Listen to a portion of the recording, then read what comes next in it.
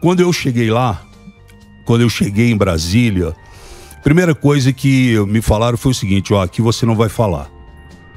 E até uns três meses para eu poder né, pegar todo o Entender. sistema, entender, eu terminei o primeiro ano com 260 discursos.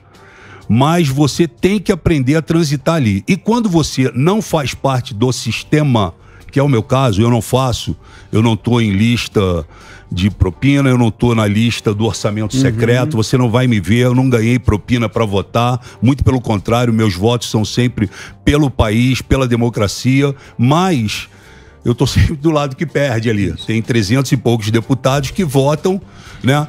E ah, sempre com o governo. E você tem o líder e praticamente, dependendo do deputado, você quase que fica ali para sim, Sim ou não? É. sim, não. Isso aí. Sim, um não. boneco, Acabou a é isso aí.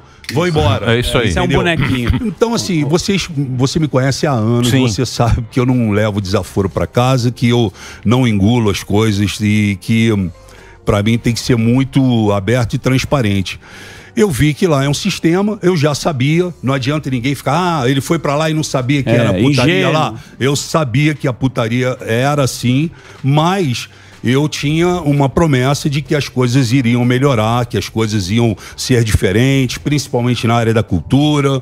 Eu fiquei quase dois anos apostando nisso, ouvindo toda essa história. Vim aqui diversas vezes no Pânico, trazendo ele, inclusive. Colocou a E- cara a tapa. E ouvindo toda aquela história e que essa história mudou é, já ainda em dezembro de 2018. Antes da gente assumir, em dezembro de 2018, eu presenciei uma cena. Primeiro que quando o Bolsonaro se tornou presidente, ele foi blindado e aí você, aqueles que eram os soldados, que se forem feridos, não vão ficar para trás na guerra, ficou todo mundo. E aí eu vi uma cena que me chama muita atenção na transição de governo é, em dezembro de 2018, quando entra no fundo do corredor ali no, na- no Banco do Brasil, onde era a transição do, do governo Temer para o governo Bolsonaro, o Gustavo Bibiano, junto com uma série de militares e um monte de gente de terno, e o Bolsonaro junto, eles vieram. E cada um foi entrando para sua sala. E aí ficou só o Bebiano no corredor. Você sobrou e no aí eu cheguei bebedouro. e falei, e aí, Bebiano, tudo bem? se perderam, ele falou, é. tudo bem. Eu falei, é, Qual que é a minha sala? Vamos pra tua sala? Ele falou, Frota, eu não tenho sala. Caralho. Aí eu falei, como tu não tem sala, cara? Pô, tua sala devia ser uh, do lado da do Bolsonaro. Você não era o Porque soldado? você fez. Você Você trabalhou capitão. 28 horas por dia pra ele. E eu sei o que o Bebiano fez juridicamente pra poder deixar o Bolsonaro sentar naquela cadeira ali. E ele falou: Eu não tenho sala, não sei o que vou fazer. E Frota, eu tô sentindo um, um clima aqui ruim, como se eu eh, fosse uma persona não grata. E isso aconteceu após aquele domingo na casa do Bolsonaro. Mas não foi o negócio da Globo lá? Eu não sei, cara. É, eu porque não sei. tem- as pessoas Mas, Emílio, contam as tem umas histórias. teorias, né? São, É. várias teorias, mas Emílio, cara, se a gente tá fechado numa parada, irmão, tu me chama numa sala e a gente vai trocar ideia e vai colocar limpo. Eu não posso ir pra uma guerra contigo, me colocar na sua frente pra você não tomar tiro e etc e tal. E, porra, depois que, porra, a guerra vence, aí você vira pra mim e fala, porra, valeu. Nem Aí. fala valeu. Nem agradece. Entra numa Porque- sala e porque- me larga no meio do então, deserto, porque- com a boca cheia de sal. Porque isso aí é aquela história. Tem duas histórias aí e você não sabe qual é a real. Sim. Entendeu? Mas- Esse é que é o negócio. Mas- e tudo é assim hoje em Mas dia. eu, assim, eu, eu me senti também. é, as pessoas tentaram, né, em 2019, porque eu, eu saí do bolsonarismo, do Bolsonaro, quando ainda ele tinha 60%.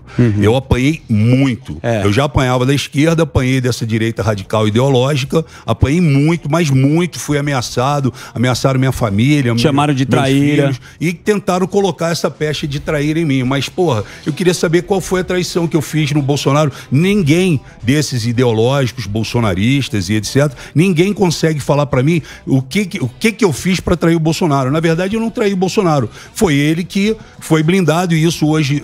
O Brasil hoje enxerga isso, né? Vê que que eu não estava errado ao sair dessa, desse, desse sistema, dessa lama.